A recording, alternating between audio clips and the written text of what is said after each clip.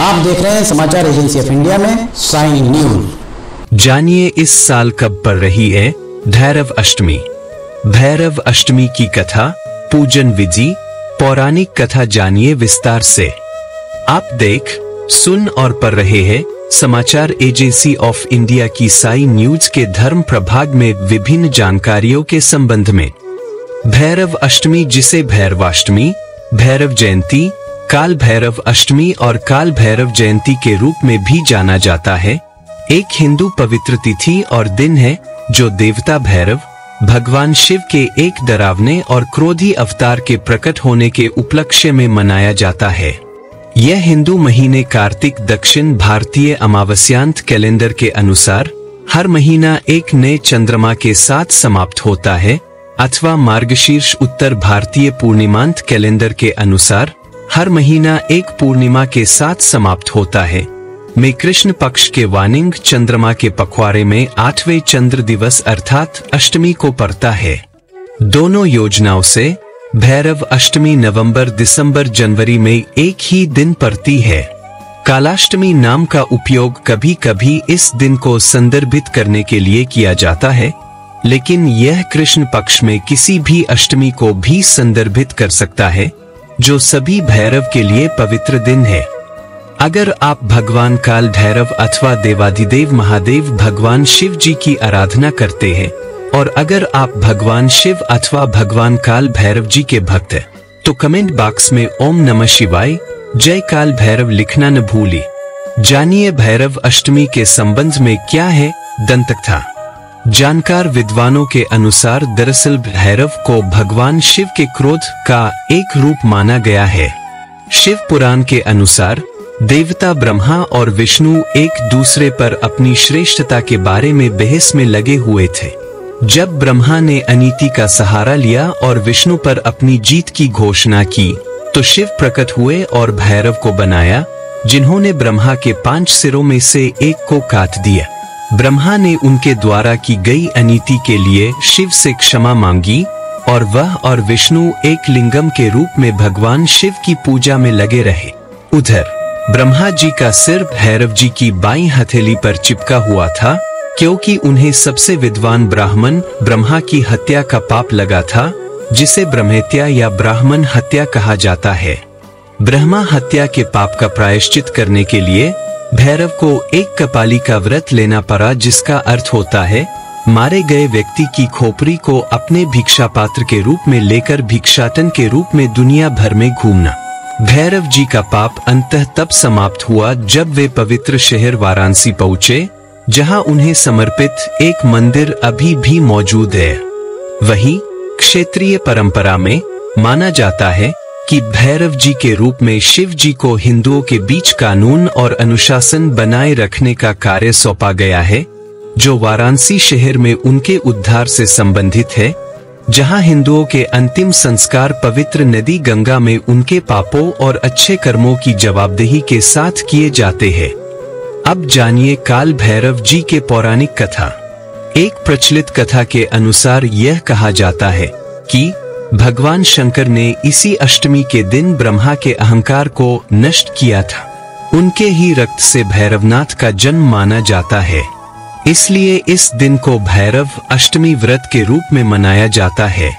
कहा जाता है कि, जब दुनिया की शुरुआत हुई थी तो एक बार सृष्टि के रचिता ब्रह्मा जी ने भगवान शंकर की वेशभूषा और उनके गणों के रूप को देखकर शिव जी को कुछ तिरस्कार पूर्ण शब्द कह दिए थे।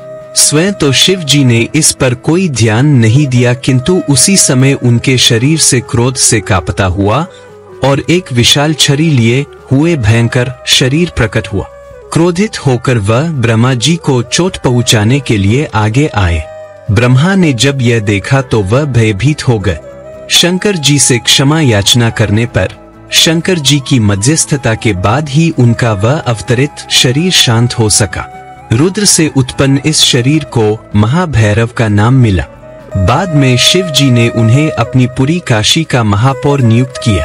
कहते हैं कि भैरव जी की पत्नी, देवी पार्वती का ही अवतार है, जिनका नाम भैरवी है। जब भगवान शिव ने अपने अंश से भैरव को प्रकट किया तो उन्होंने माता पार्वती से भी एक ऐसी शक्ति उत्पन्न करने को कहा जो भैरव की पत्नी बन सके। तब माता पार्वती ने अपने अंश से देवी भैरवी को प्रकट किया जो शिव के अवतार भैरव की पत्नी है। भैरवनाथ की पूजा विशेषकर रात में ही की जाती है।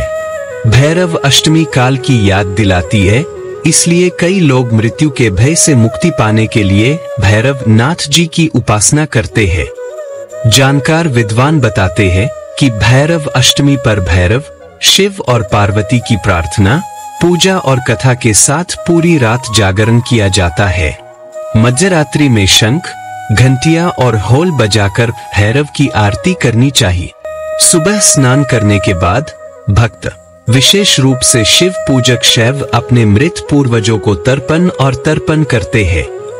फिर भैरव, शिव शिव की पत्नी पार्वती और भैरव के वाहन पशु वाहन श्वान की पूजा फूलों और मिठाइयों से की जाती है। श्वानों को प्रसाद के रूप में दूध, मिठाई, दही और अन्य खाद्य पदार्थ भी दिए जाते हैं। यदि भैरव अष्टमी रविवार या मंगलवार को पड़ती है, जो भैरव को समर्पित पवित्र सप्ताह के दिन है तो यह दिन अधिक पवित्र माना जाता है।